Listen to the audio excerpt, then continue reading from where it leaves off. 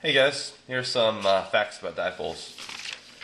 So it's important to know that um, dipoles never have a net zero uh, electric field. So if you have your positive guy and your negative one, and you try to find electric field, at no point anywhere in space will the electric field be zero.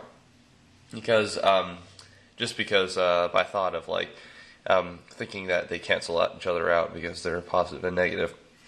When um, if you know this positive is closer, then the positive will have a stronger effect. So it's just important to know that you'll uh, always have some electric field. It'll never be zero.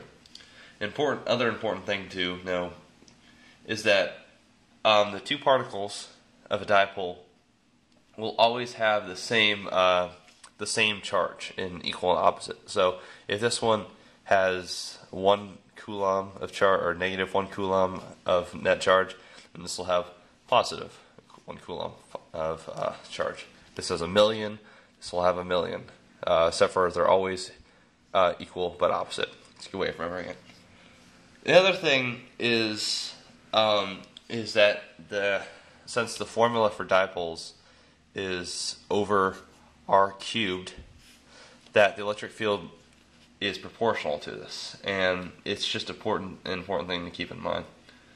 And um, the last thing is that the electric field at any points uh, due to these dipoles is the vector sum of the electric field of both of these uh, components. So basically, if it's right here, then again, positively pushing away, negatively pushing towards.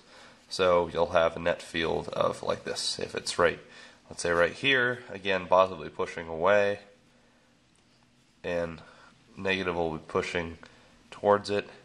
Will be a little smaller because it'll um because it's kind of farther. So your net field will be inlet will kind of be like this, and uh, it's kind of complicated like that.